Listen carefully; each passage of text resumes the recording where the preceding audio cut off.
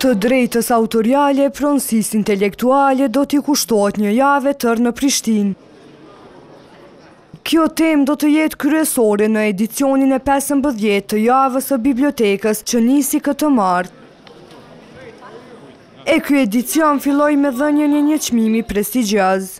Pjetër Bogdani, çmim ky që do të ndahet në vite jubilare për persona e institucione që kontribuojnë në bibliotekë, iu nda për herë të parë Ambasadës Amerikane në Kosovë.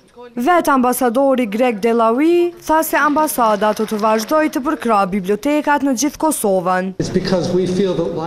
Ne mendojmë se zhvillimi i bibliotekës është një element esencial i mbështetjes së demokracisë. Dhe e gjithë kjo punë që kemi bërë në pesëmbëdhjetë, njëzet vitet e fundit ka bërë që ta ndihmojmë pikërisht atë, demokracinë.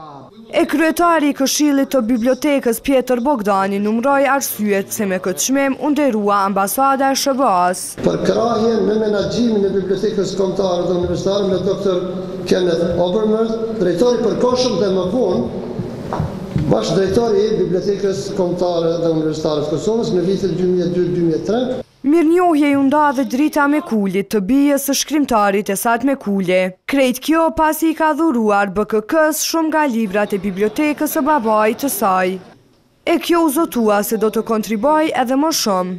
Ka aty edhe libra të vjetër shumë të rrallë edhe besoj se shumë shpejt do të jetë në disponim të të gjithë lexuesve të Kosovës. I pranishëm në fillimin e javës së bibliotekës ishte edhe kryeministri Isa Mustafa, i cili u zotua për përkrahje të vazhdueshme nga Qeveria për këtë institucion.